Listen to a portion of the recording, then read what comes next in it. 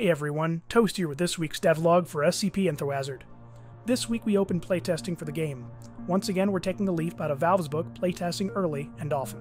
One of the tasks we handled this week, we wanted to build on the basic gunplay visible in the Infohazard trailer. I'm gonna break his AI so hard when I get to play when I get to play with him.